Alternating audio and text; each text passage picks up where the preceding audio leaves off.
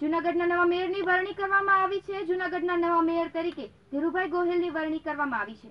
જુનાગઢના નવા મેયર પદે ધીરુભાઈ ગોહિલ, ડેપ્યુટી મેયર હિમાંશુ પંડ્યા તથા સ્ટેન્ડિંગ કમિટીના ચેરમેન રાકેશભાઈ ધુલેશિયાની સર્વાનુમતે આગામી તારીખ એકત્રીસમી જુલાઈના રોજ હાલની બોડીની મુદત જે છે તે પૂર્ણ થતાં આગામી પહેલી ઓગસ્ટના રોજ જે ચૂંટાયેલા નવા સાઈઠ કોર્પોરેટર છે, આ કોર્પોરેટરનું જનરલ બોર્ડ મળ્યું હતું.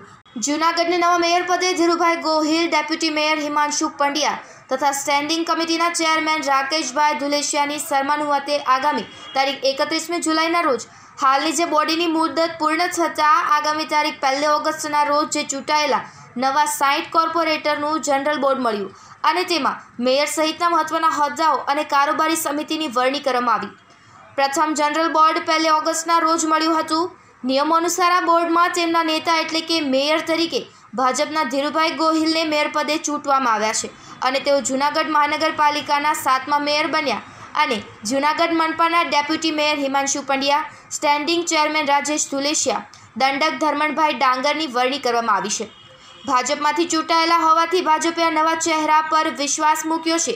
ચૂંટણીના પરિણામો બાદ જ લોબિંગ શરૂ કરવામાં આવી હતી અને તમામ હોદ્દાઓ માટે ભાજપે સસ્પેન્ડ ખરું કરી દીધું હતું, જે સમય આવે નવા નામની જાહેરાત કરી હતી. નવા નિમાયેલા મેયર શ્રી ધીરુભાઈ ગોહિલે પૂછતા જણાવ્યું હતું કે ભાજપના તમામ કોર્પોરેટર, વિરોધ પક્ષના કોર્પોરેટરો સાથે કર્મચારીઓ અને જૂનાગઢની જનતાને સાથે રાખીને જૂનાગઢના વિકાસના કાર્યોને નવી દિશા આપશું અને જૂનાગઢના વિકાસના કામો કરીને હરણફાળ ભરીશું. આ સાથે જ વિરોધ પક્ષે પણ શાસક પક્ષ પર ભરોસો મૂકીને જણાવ્યું હતું કે ભ્રષ્ટાચાર સિવાયના જે કામો છે તેમાં અમે હર હંમેશા તમારી સાથે છીએ. વધુમાં મેરશીએ જણાવ્યું હતું કે હું કોર્પોરેશનનો પગાર નહીં લઉં અને માત્ર કોર્પોરેશનના કામમાં જ સરકારી ગાડીનો ઉપયોગ કરીશ. આજ રોજ જનરલ બોર્ડે મારી નિમણૂક કરી છે. પાર્ટીએ પ્રથમ નિમણૂક કરી, પછી જનરલ બોર્ડે નિમણૂક કરી. અને જૂનાગઢની જનતાની સુખાકારી માટે જે થઈ શકે એ અમારું બોડી કામ કરશે. ખાસ કરીને પાણી કાપ ભગવાને આજ સુંદર દિવસ છે. શ્રાવણ મહિનાની શરૂઆત છે અને ભગવાને મેર કરી છે અને પાણી પાણી કરી દીધું છે. એક વર્ષનું પાણી ભેગું થઈ ગયું છે. અધિકારીઓ સાથે બેઠક કરીને પાણી કાપ દૂર કરવા માટેનો પહેલો પ્રયત્ન. વિકાસના કાર્યોમાં રોપવે જલ્દી પૂરો થાય એના માટે અમારા પ્રયત્નો હશે.